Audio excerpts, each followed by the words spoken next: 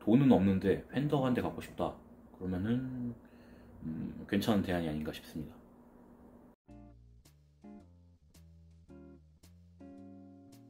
네 안녕하세요 선생입니다.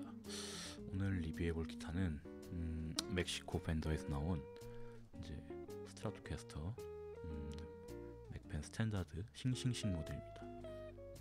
이 기타 같은 경우는 음, 지인의 기타를 대여받아서 영상 리뷰를 찍었으며 뭐 일절 받지 않았음을 알려드립니다. 음, 이게 지금 head machine 같은 경우가 좀 개조가 되어 있는데 원래는 일반 standard한 head machine이 장착되어 있고요. 지판은 이제 메이플 그리고 neck도 maple로 되어 있는 그런 기타입니다. 21 fret 약간 빈티지 사양이죠. 지금 head machine 같은 경우는 이렇게 음, Gotoh의 빈티지 head machine으로 장착되어 있으며 음, 이제 two two tone의 one volume으로 되어 있는데 이 기타 같은 경우는 bridge가 톤이 작동하지 않습니다. 음, 그 점이 약간 좀 빈티지한 느낌을 더 불러일으키는 그런 게 아닌가 싶은데요. 프렛 마감 또한 상당히 괜찮습니다.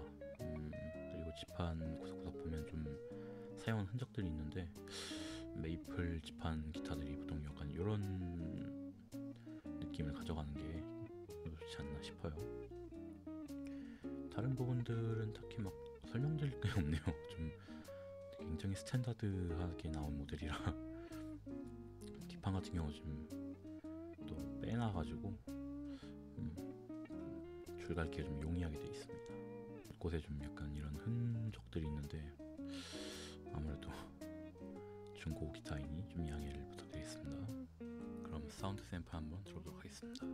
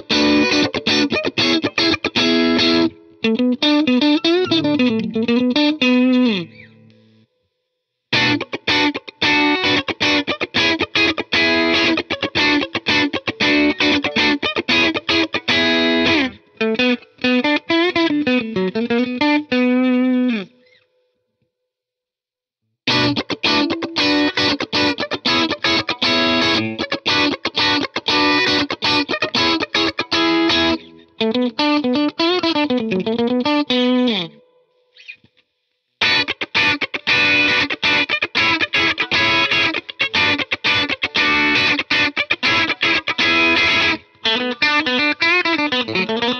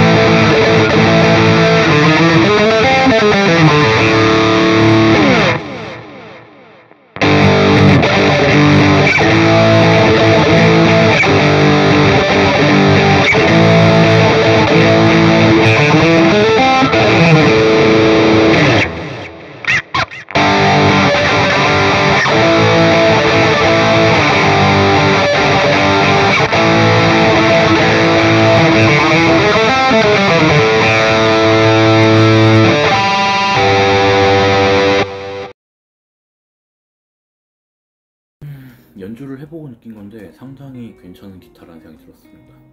저도 원래 멕시코 밴드에 약간 편견이 있었는데 오늘 그 편견이 좀 사라진 것 같아요. 음, 만듦새도 생각보다 괜찮고 어, 내가 지갑이 좀 얇은데 밴더 한 대는 갖고 싶다 하면은 괜찮은 선택이 아닐까 싶습니다.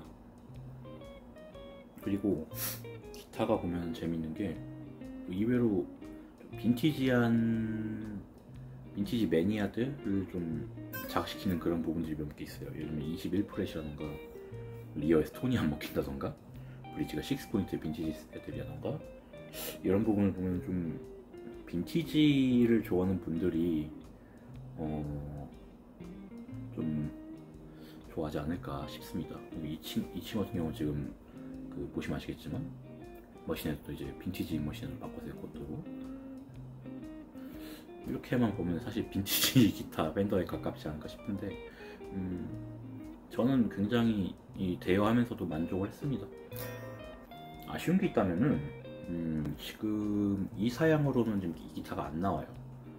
어, 과거의 스탠다드이기 때문에 더 이상 나오지 않는 걸로 알고 있습니다. 그게 좀 아쉽네요.